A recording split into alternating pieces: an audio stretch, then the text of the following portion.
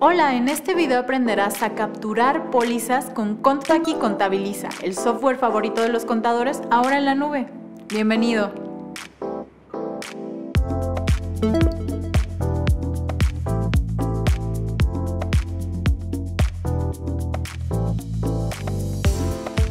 En operación diaria, pólizas, verás tu listado de pólizas filtrado por periodo y ejercicio.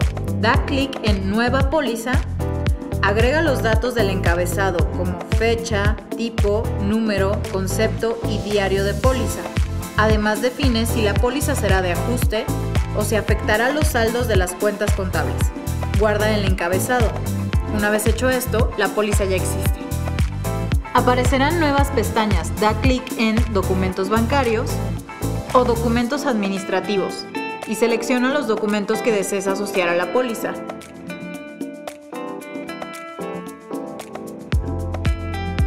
Ya que tengas todos tus documentos asociados, agrega movimientos.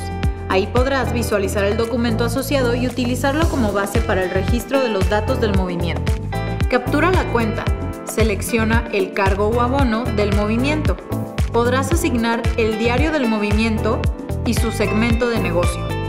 Continúa agregando y guardando movimientos hasta completar la póliza. Puedes utilizar las teclas Alt más Q para cuadrar la póliza en el último movimiento. Cuando la póliza esté cuadrada, en la barra lateral te mostrará que el total de cargos y abonos coinciden. En los iconos de abajo verás cuántos documentos bancarios y administrativos asociaste a la póliza. Selecciona Guardar movimientos para que sean agregados a la póliza.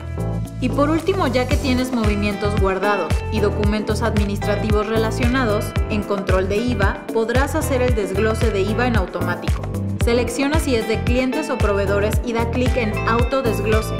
Al final, si ese IVA no es el correcto, podrás editarlo. Y listo, ya sabes cómo capturar tus pólizas y relacionarlas con los documentos administrativos y así contar con la información para reportes de la DIOT y contabilidad electrónica. No olvides descargar la app de Acceso I para estar siempre informado sobre los cambios contables y fiscales. Para tener control y flexibilidad en tu contabilidad, Contpaqui presente.